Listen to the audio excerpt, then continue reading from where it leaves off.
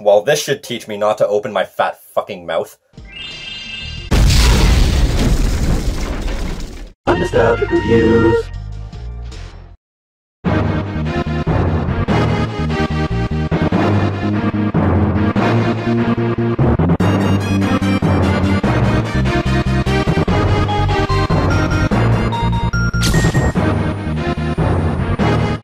Recall, back in early to mid 2017, I made a series retrospective on Star Fox called the Star Fox-a-thon.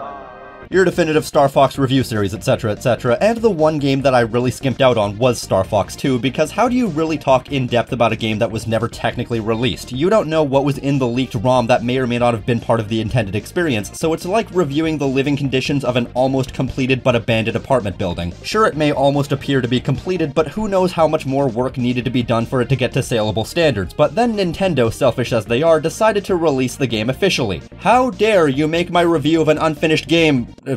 Unfinished. But you guys don't really care, do you? You just want to hear me talk about a game from 1995 that came out in 2017 like we're all living in a filler episode of Doctor Who. Now, I'm sure you're all aware of the history of Star Fox 2, and if not, strap in. It was one of, if not the most high-profile game cancellation in history when Nintendo decided to pull the plug on the completed game and opted not to release it because they wanted to have a gap between high-profile 3D games before the release of the Nintendo 64, then called the Ultra 64, but it was all for naught because the N64 ended up being delayed so it was cancelled for nothing. As well, Nintendo didn't want Star Fox 2 to be unfavorably compared to any PS1 or Sega Saturn games, as both consoles were released around the time that Star Fox 2 was set to come out. However, that's when shit really hit the R-Wing, because Argonaut Software, who made both Star Fox 1 and 2 and owned the rights to the Super FX chip, the technology that made both games possible, but the IP and characters were both owned by Nintendo, both Star Fox 1 and 2 were caught in a legal gray area between Argonaut Software and Nintendo, which was an absolute mess and a headache just to think about. I don't even fully understand how it works myself because law is dumb. Also, fun fact, to my knowledge, this is why Star Fox 1 was never released digitally on the eShop and why it never got a port to the GBA, while something like Yoshi's Island, which also used the Super FX chip, did. Because that game was made by Nintendo as opposed to a third party like Star Fox was, as long as they ported it without the use of the Super FX chip or any of the coinciding code, they were golden legally. As for Star Fox 2, it lingered in obscurity for many years with only unfinished ROM leaks to show us what could have been. That was until the surprise announcement and subsequent scalping of the Super Nintendo Classic, where Nintendo not only got Star Fox on it, but also the fabled completed ROM of Star Fox 2. So my first thought was, yay, followed by, damn it. So let's go back to 2017 to review a game from 1995 released in 2017 in 2018. And see if Star Fox 2 holds up, and see if it passes the nostalgia test. It's funny though, I may or may not have done the exceedingly easy like 5-step process of hacking my SNES Classic to make the price tag more worth it, and so in turn I may or may not have added over 200 new games to it, including this.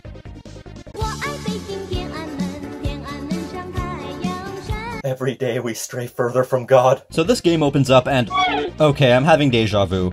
This is eerily familiar to the beta ROM that was leaked. Mostly because right from the opening cutscene, this is essentially the beta frame for frame. If this game is as similar to the leaked ROM as I have a feeling it will be, it's gonna be very hard to decipher what was or wasn't changed or added for the final version. In any case, as most of you know, Star Fox was the game that introduced us to the Super FX chip, a groundbreaking piece of tech that at the time allowed the Super Nintendo to render 3D polygons, as quaint as that may seem now. It's clear from the outset that Argonaut and Nintendo wanted to continue pushing the limits of the Super Nintendo beyond what was conventionally thought possible for the system. To that end, this game looks very impressive even from the opening cutscene. Opening cutscenes were very rare in this stage in gaming, and so this was a treat, and was probably only put in to show off the technology, and for what it's worth, this game does look impressive, but I hesitate to use the word good. As cool as a novelty as it was to have these polygons on screen, it doesn't do much to distract from the fact that the color palette is very flat and very bland. It's a neat style, and there are good environments here and there, but this is the Atari 2600 equivalent of 3D, and it strikes me as less of a visual style and more of a this is all we could really do with the hardware. I think it really was a case of they were so preoccupied with whether or not they could, they didn't stop and think if they should. There is an appeal to the contrasting stark flat colors and the simple designs, and I could understand why someone could really like this style, and I really appreciate how it's immediately visually apparent what's an enemy, and furthermore, what's an enemy's weak point. I'll concede that the 2D art is really good when they do 2D art, such as with the character portraits and the map, and there are some really cool looking designs of things like missiles and boss fights. I'm assuming with the low poly count they had to make certain things look outlandish so they immediately look distinct compared to everything else, I think this game looks roughly on par with Star Fox 1, if not slightly better, and that is to say impressive and passable by the standards of the time, but by no means good. But then again, it's the type of thing that you may have to have an appreciation for to get the full effect, because whether or not it was the only way to make it, there is at least a clear art style compared to some PS1 and N64 games. I guess what I'm trying to say is the graphics are a mixed bag, and there is something here, but it really is up to the eye of the beholder, and so while I could see an appeal to the graphics in Star Fox 2 and how it looks more advanced than Star Fox 1, I'm not the biggest fan, but I'm especially not a fan of what pushing the hardware beyond the limit like this does to the frame rate. This might be a problem with the SNES Mini as opposed to the actual game, but seeing as no official cartridge actually exists for this game, Wrong again, TGX. If you're willing to pay someone to destroy a copy of Stunt Race FX, you can get your very own reproduction cart for the low, low price of 50 US dollars. All it'll take is six months to deliver it. And it was totally worth it to play the game in 20 FPS on real hardware, complete with authentic dithering. In fact, if you sample the RGB signal correctly, you can even perform a 10 times upscale to 4K. Exo Paradigm Gamer, how dare you show up on my video uninvited? And enough with the techno babble. I've had enough on my plate lately without having to deal with unauthorized cameos like this. Besides, I said this game was never officially released on physical media. Yeah, but I can't say I expected this game to get an official release at all.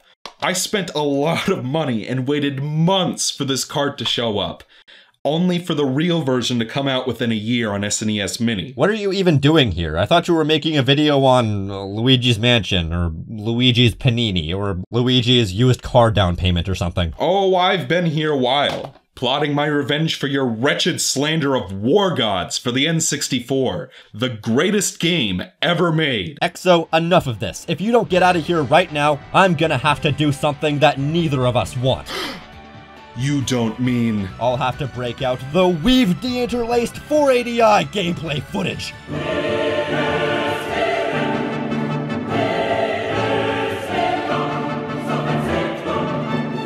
No! Get it away! Get it away!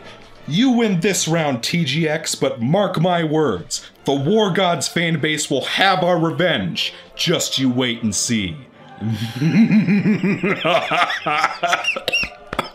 You're still on about that? Seriously? Seeing as no official cartridge actually exists for this game, I have no point of comparison. With that said, at any given time when you're in combat, this game tanks. It tanks harder than a trip to Titania, but um tish. Okay, that's a Landmaster, but you get my point. In the menus and the map, the game runs at a silky smooth 60, but I could probably count on one hand the number of frames per second I'm seeing in some of these combat sections. The problem here is that in Star Fox 1, the game only really rendered the immediate space in front of you, whereas this game attempts to render full environments at a higher quality than before, and so this game at times has an unforgivably bad frame rate. I'm not one of those people who will say either it's 60 FPS or higher, otherwise I'm not buying, but even I have my limits, and this exceeds them. This is an unacceptably bad frame rate for any generation, regardless of the context surrounding the game. It would be like releasing a YouTube video at 5 FPS.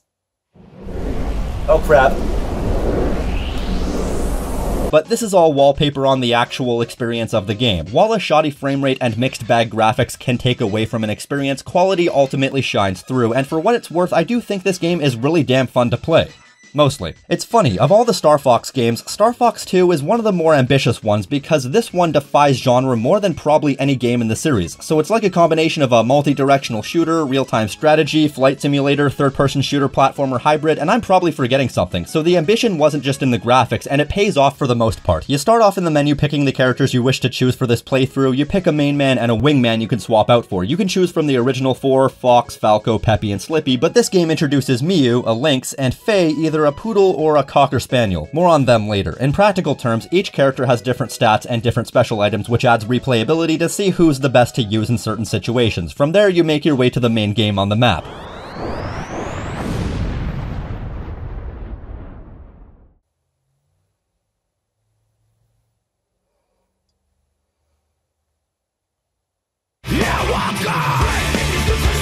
Being represented by these R-Wing icons. The real-time strategy element comes into play when you have to defend Corneria from oncoming hazards, armadas of spacecraft, missiles, etc. While protecting Corneria, you have to make your way to battle carriers and occupied planets and destroy Andross's forces and weaken his grasp on the system enough to take him head on. In terms of atmosphere, it nails the feeling of going into a battle you're completely unprepared for, only just being able to hold on as wave after wave of hazards come for you. You may think you have time to take out that planet, but if you misjudge your timing, that's a few precious percent of Corneria's health gone that you can't get back, and if it reaches 100%, game over. No do-overs, this game is 100% permadeath like an early FTL. It gets very hairy, especially in the harder game modes. It almost makes you feel trapped in an endless loop of defending your turf, which makes it all the more satisfying when you do have an opening to take out a major part of Andross's armada, or optionally, you can just cheese defense and take out a part of Andross's armada, letting Corneria take the hit, which is a risk worth weighing the pros and cons of. You have all of the time in the world to figure out your next move, because while this game is real time when in motion, it doesn't move until you do. But unlike most games with similar gameplay setups to this where the game pauses while you're in the main game, not here. You see that timer at the top of the screen? That's your timer that will affect the main overall game. If you take too long while freeing a planet or taking out a command ship, you're wasting time that you'll need to defend Corneria, and Pepper will constantly be in your ear non-stop pressuring you, so you could be taking out an important base but be sacrificing Corneria for the time being. You come out of the mission and then suddenly, boom,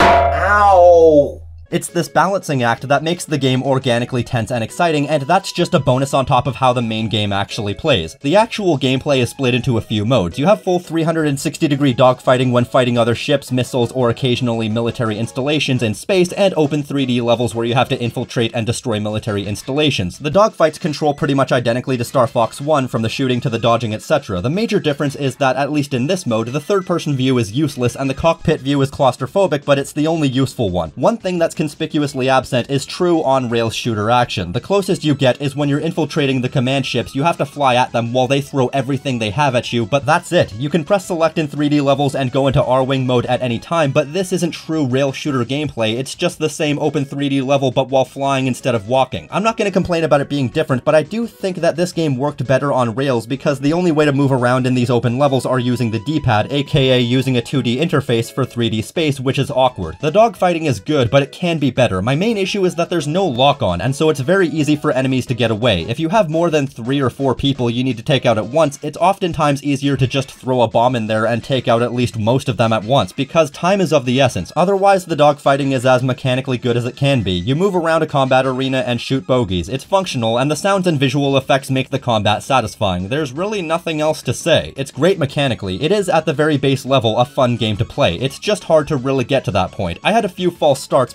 because this game throws you right into the action, and it's complex enough to take a bit of getting used to. I was having trouble with the field of view because there are people all around you, and it's not immediately obvious where they are in relation to you, especially since it's a full 360 degree arena with a 2D map, and so they tried to do a little bit too much with not enough. Plus, the low res graphics means that depth is a little bit hard to perceive, and it's not easy to tell which direction enemies are moving in sometimes. Another key example of this is how the shooting's a bit finicky. The problem of enemy location and depth means that it can be tough to predict where to preemptively shoot. It's also a bit weird because you don't have a static reticle. It's one that moves all over the screen as you do, but it doesn't move past a certain point, so it's a bit finicky. But these nitpicks don't really affect the overall enjoyment too much. It may sound like I'm trashing the game, but there's really only so many ways you can say it's fun to shoot the thing. It's one-note gameplay done right, and the games are short and built for replayability, so it doesn't wear out its welcome and encourages you to come back and play it again and again. In fact, this game even has a score system, so you always have something to top, and you get higher scores for higher difficulty, which is a good risk-reward system. You can go harder to get a better score, but then it's more likely that you'll get overwhelmed.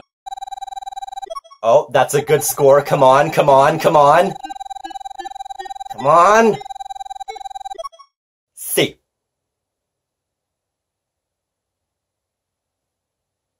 C. C. Unt. But we get ahead of ourselves. The second major game mode is the aforementioned full 3D sections where you take control of the walker. This mechanic that's featured in Star Fox 2 from 1995 debuted in Star Fox Zero in 2016. Yeah, wrap your head around that. Once again, they tried too much with not enough, and as a result, it becomes once again a bit finicky. You turn with the shoulder buttons and aim with the D-pad. It's about as good as you could expect given the technology, and the shooting feels just as good as it did in the dogfights. While in the open-ended areas, you don't have as much going on at any given time because by their very nature, the hazards are more spread out. Normally, these these sections are twofold, exterior and interior. The exterior sections are usually spent trying to get inside, and that's down to finding and pressing switches to open a door, and inside you take out a base, and some levels start inside, so that's where most of the gameplay in these sections take place. From the inside, you take out enemies and move through a facility and fight a boss. I like the walker sections, it feels more epic and vast in such a way that a 2D game wouldn't be able to pull off. The shooting has a lot more weight to it, the controls are fairly responsive, and the navigation is intuitive for the most part. There was one point where I wasn't sure where to go and had to discover through trial and error that I had to backtrack through several rooms to kill all enemies before the door would open, but that was a one-time thing that I just needed to discover, and Corneria took some damage as a result of me taking so long, so my bad. These sections are pretty good pretty much for the same reasons as the standard gameplay is. It's a much more methodical mode because walking around isn't as fast as flying, but it still works really well. The highlight for me was where I was supposed to find a switch, but to my chagrin, the switch was attached to a really powerful enemy and a sudden fight ensued. The game is filled with these little moments where it takes you by surprise, but in a good way. A great compliment to the permadeath gameplay, so both the walker mode and the dogfight mode are pretty damn good. Neither reach the heights of the likes of Star Fox 1, but in terms of experimentation, this game has a lot of upside in spite of some flawed top-heavy design. There's a really good progression as well. As you take out Andross's army, he doesn't just sit around and let you ransack his army, he starts to get desperate and sends out the big guns in the form of bosses such as this giant space snake dragon thing called the Mirage Dragon. Oh my god! It's a mirage! Who's a giant chump all things considered. Tektron was another one, and he was a bit more obnoxious because you need to dodge his shot, but because I can't dodge without losing him as I'm not on a 2D plane, I ended up just tanking the hits. But more often he sends Starwolf. Some members of Starwolf will show up when you try and take a planet, but Wolf is at the very least Andross's last resort. These are probably my favorite part of the game because they're pure dogfights and are just down to you and your skill, and also luck when hitting them with charge shots, more on that in a minute. Hey look, it's Leon! What the fuck are you? These fights get very hairy too. They can easily outwit you and drag you to the brink of death, and you don't heal up after the mission's over either. You can swap out to your wingman, but that's only a band-aid over a bullet wound. The only way for you to heal up is to return to your command ship, but then you're wasting precious time that could cost Corneria more health, which adds another layer of depth onto Star Fox 2. This game is all about weighing the pros and cons of pushing forward and taking the hit, or borrowing time from the future and risking the health of Corneria. The future's in your hands, and you're responsible for keeping this operation afloat, whatever it takes. It gets that balance down pat, so it's constantly tense and rewarding when you do succeed at taking out a fleet while keeping Corneria safe, but you never feel safe, and it's a tension that weighs on you like a hippo on a school child. It's never ending, and a bit traumatic. I'd say this real-time aspect really elevates what would have otherwise been a really humdrum Star Fox experience, and I'd say the soundtrack really adds to that a lot as well. I wouldn't necessarily say that there are any standout tracks, but they're all really good and have a nice rock techno tune to them. We're still dealing with MIDI music at this point in gaming, so while the quality could be much better, they squeezed every ounce of quality they could out of it.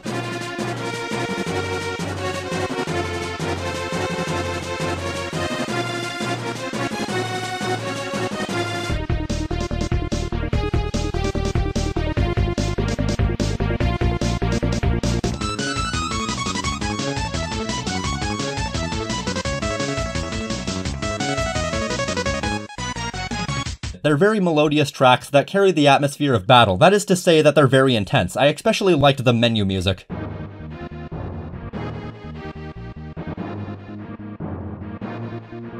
It has a very ominous sound, like we're stepping into something we're completely ill-prepared for, which is pretty much the game in a nutshell. The soundtrack is great. Do I have other issues? Well, the bosses while you're playing as the Walker are very repetitive. It's just strafe and shoot almost every time with no depth whatsoever, even in Andross's first stage. There was the heavy chariot that required a bit more skill, but that was more of a nuisance than anything. That's all it is. Secondly, there are a few things that were changed between the beta and the official release, but one of the oddest changes is that they took away the lock-on when you fully charge your laser. That seems incredibly arbitrary. Why would they do this? It's already hard enough to gauge distance and exact enemy placement without you taking away my only ace in the hole. Most enemies die in a few hits anyway, so without the benefit of lock-on, there's not even really a reason to have charge shots. It just seems like a lot of time in combat to devote to something that might not even hit. Sure, they make quick work of bosses, but once again, that's only if you can hit them. It just seems like a really odd thing to take away in terms of general flaws. The lesser known cousin to General Pepper. I've heard that apparently the lock-on is an additional unlock if you collect all the General Pepper coins, but that still seems like a very odd thing to lock away. That would be like taking away the ability to pause and then making it an optional unlock. The story of this game isn't really worth talking about. It's basically an obligatory narrative to frame the action. Andross returns apropos of nothing and declares war on Corneria.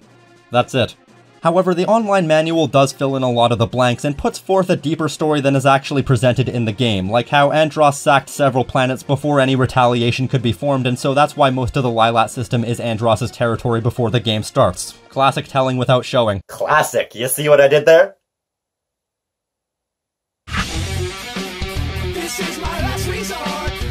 It's not much more depth, but it does give you several more details. They hired two new people from the Cornerian army, the previously established Faye and Miyu. They say it's because they were the most skilled people for the job, but personally, I think it's because Star Fox had to fulfill a diversity quota for tax reasons.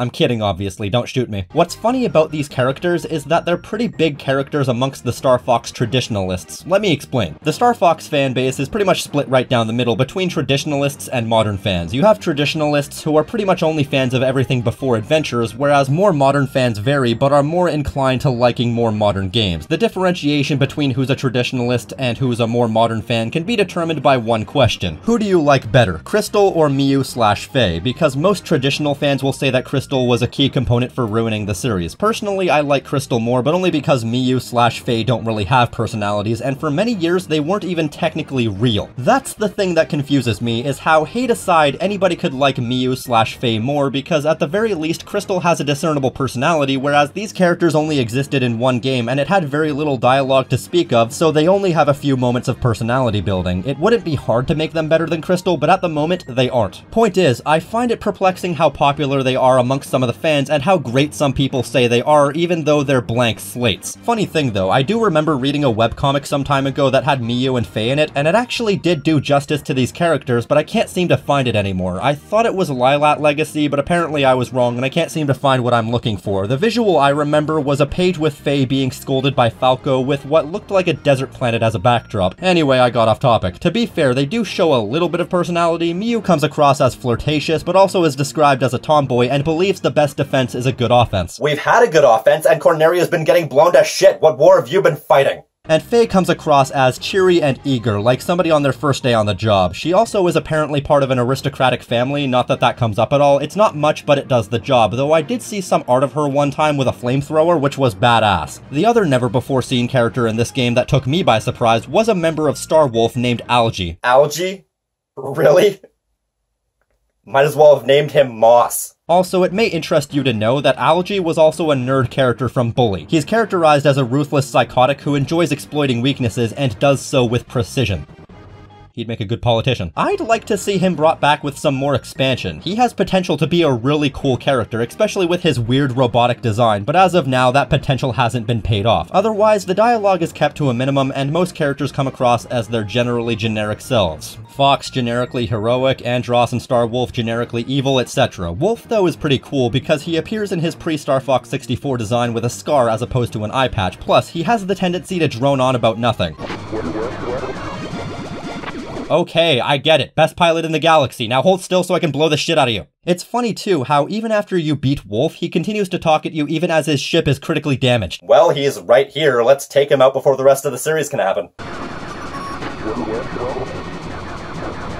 Stop monologuing and blow up already, you bastard! Other than that, a lot of what can be perceived as story is emergent. You fight and struggle through Andross's forces before taking him on, and it's incredibly rewarding to make your way to Andross and after everything he's done, take him out. It's a good mix of gameplay and is a fantastic payoff and challenge for everything you've learned up to this point. It starts out as you making your way through the hardest facility in the game as the Walker, and then you make it to Andross and fight him at first as the Walker, and then you fight him in what looks like a throwback to the first game's final boss, taking out his eyes, opening up the mask to the Andross cube, and finishing him off with a BOOM!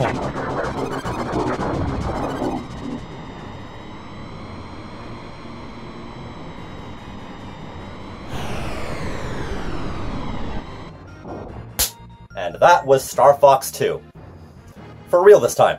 This one has a lot going for it, but it also has a lot working against it. What I think is unfortunate is that the game has a lot going for it, but it tries to cram too much into too small of a space. Failed ambition is still better than successful blandness, but it really did feel like they needed to slow down and work on polishing individual aspects of the gameplay before experimenting with others and doing too much too soon. They should have also really considered the Super Nintendo's capabilities. Sure, it's admirable that you wanted to push the technology to new heights, but when that's at the expense of the player experience, it's worth scaling back a bit. Work work on optimization and performance over total graphical power. Nobody's gonna fault you for that. Well, in theory anyway. In the end, Star Fox 2 is an enjoyable but flawed experience that's aged poorly. Strange saying that about a game that came out in 2017. It's on the lower tier of Star Fox, but it's not the worst, nor is it by any means a bad game. It's still fun to play, but has a good portion of chaff between you and the fun. So does Star Fox 2 pass the nostalgia test? Yes. It's a bit of a mixed bag, this one, but it is better than the sum of its parts. However, now that we've had a several year gap, a reimagining, and a release to a timeline that was rebooted in the late 90s, what even is the Star Fox timeline now?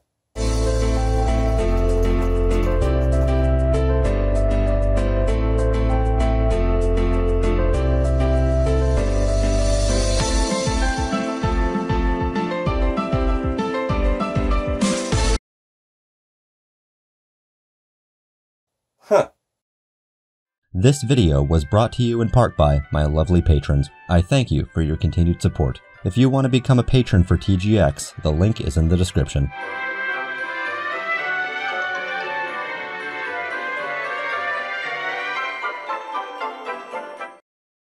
Well, he's right here. Let's take him out before the rest of the series.